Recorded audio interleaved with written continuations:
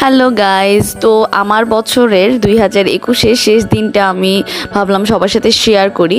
তো আমি আজকে চলে আসছি যমুনা ব্লকবাস্টারে মুভি টিকিট কাটার জন্য। কারণ আমি আর বাপন ভাবলাম যে থার্টি ফার্স্টে কিছু না কিছু একটা এক্সাইটিং তো করতেই হয়। তো তিরিশ তারিখ টিকিট কাটার পর, পরদিন একত্রিশ তারিখ মানে ফাইনালি থার্টি ফার্স্ট ডিসেম্বরে আমরা রেগুলার অফিসই করতেছিলাম। তো আমার যে টিম লিডার ম্যানেজার সে বলল যে সবাইকে নিয়ে কোথাও একটা লাঞ্চে যাবে টিমের সাথে থার্টি ফার্স্ট সেলিব্রেট করতে। তো আমরা চলে আসছি আমার অফিস পাশে অননাতে ডালাস নামে একটা রেস্টুরেন্টে তো খাবার আসতে আসতে স্যার হচ্ছে যে আমাদেরকে বলতেছিল যে তোমরা থার্টি ফার্স্টে কে কী করবা তোমাদের রেজলিউশন কি নেক্সট ইয়ারের জন্য? এই আর কি। তো গল্পে গল্পে খাবারটা শেষ হয়ে গেল। তো সাডেনলি বাপন যেহেতু বাসায় ছিল সেদিন তো স্যার আমাকে বলল যে, যাও তোমার হাজব্যান্ডকে ডাকো, ওকেও ডাকো, ও আমাদের সাথে আড্ডায় আসুক। তো ওকেও ডাকলাম। তো খাবার খাবার আসলে খারাপ ছিল না, ভালোই ছিল। সবাই গরু নিয়েছিল আমাদের জন্য চিকেন ছিল আর কি।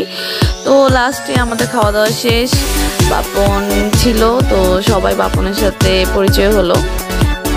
তারপর অফিসের পরে সন্ধ্যাবেলা আমি চলে আসলাম ব্লকবাস্টারে বাপন আগেই ওখানে ছিল, তো আমরা দুজন দুজনকে খুঁজে পেলাম শেষ পর্যন্ত।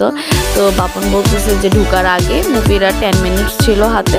বলতেছে ঢুকার আগে চলো পপকর্ন কিনি। তো বলতেছে, দুইটা প্যাকেট কিনবো, দুইটা প্যাকেট কিনবো? আমি বলতেছি কি যে, না, একটাই কিনো ইন্টারভেলের সময় না হয় খালি হয়ে যাবে। তো এই আর কি, তো আমরা একটা প্যাকেট একটা পেপসি কিনে ভেতরে ঢুকছি, ঢুকার পরে আরও অনেকগুলা দোকান দেখার পরে বাপন বলতেছে যে, এখানে আরও অনেকগুলো দোকান আছে, আমার খিদা লাগছে, তুমি কেন আমাকে জাস্ট একটা প্যাকেটই কিনতে দিছো?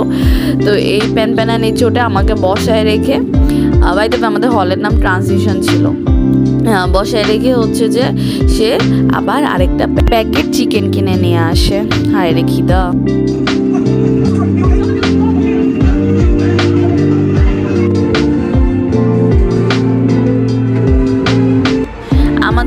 দেখা শেষ। আর স্পাইডারম্যান মুভিটা যে, এই যে নতুন যেটা আসছে নো ওয়ে হোম এটা যে অসাধারণ একটা মুভি অ্যান্ড এটা যে থ্রিডিতেই দেখতে হবে। থ্রি ডিতে না দেখলে অ্যাকচুয়াল ফিল পাওয়া যাবে না। সেটা আমার মনে হয় না কাউকে বলার দরকার আছে। তো মুভি শেষ করে আমরা চলে আসছি উনানের রুফটপে যদি এখান থেকে একটু ঢাকা শহরের লাইটিং আতসবাজি ফানুস সব কিছু দেখা যায়, এই আশায়। আর আরেকটা জিনিস, সেটা হচ্ছে যে এক ডিসেম্বর থেকে এখানে হাঁসের একটা প্যাকেজ চলতেছিল। তো হাঁসটা ট্রাই করাই লাগে।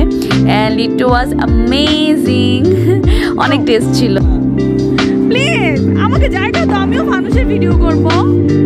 ওই ওই ওই একটা উঠতেছে। এই। Yeah you heard it right guys আমরা বারান্দার মধ্যে, একটা কোনার মধ্যে কে কার থেকে মানে কত ভালোভাবে ফানুস উড়ানো দেখতে পারব, বাজি ফুটানো দেখতে পারব, এটা নিয়ে ঝগড়া করতেছিলাম। আমরা এমনই।